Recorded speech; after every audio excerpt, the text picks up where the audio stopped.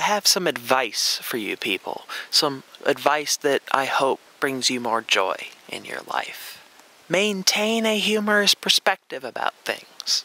Laugh when things hurt. Here's the thing Here's, it, life gives you an ultimatum when things suck. Laugh about them or cry about them. These are your choices. You can sob in sorrow, lament and wail, or you can chuckle at the ridiculousness of these terrible things happening to you and laugh a little at yourself in the universe. It still hurts, don't get me wrong. It still hurts whatever happened. But wailing, crying, beating your chest, and pulling your hair does nothing to fix the issue. That's the big problem laughing at the very least. Well, sure, laughing doesn't really fix it either, right? But no, laughing helps you feel better. Laughing is healing. Laughing is joy. When you can honestly let out a laugh about even the worst things that happen to you, no matter how you feel about them, you can at that moment back up from your own perspective a little bit. Laugh at the universe and its circumstances. Laugh at how things went beyond you as a being, beyond all of that. And it can not only help you feel a little better as laughter, you know, stimulates endorphins. Laughter is basically a drug for your brain.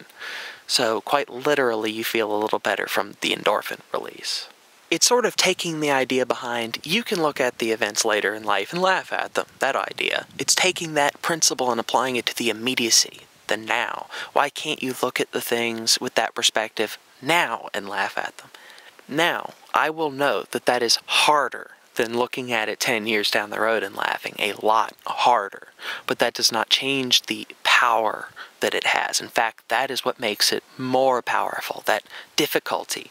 You must overcome the impact those events have had on you, the sorrow they have etched into you. You must overcome them at least a little bit to let out that first chuckle, to to laugh, you know, just to let it out. You have to overcome a part of that, and that overcoming is a first step in healing.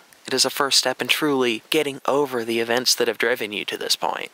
Now, I don't want to diminish the importance of expressing sorrow, of crying when the time is right. What I want to address is the point of crying all the time. You have to let go at some point. It is healthy to wail and lament sometimes, especially for a severe tragedy. But you can't always wail and lament. There, you have to heal. And one of the best bridges towards this first step of acceptance is laughter learning to step beyond the moment and the immediacy and laugh at the totality. Stop seeing the trees and see the forest for a moment.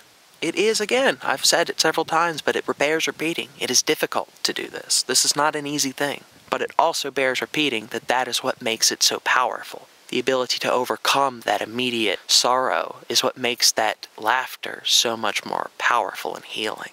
You already overcame something to get there. What else can't you do? Well, at that point, you can overcome the whole issue, can't you? Just one laugh at a time, one step. You already went that far.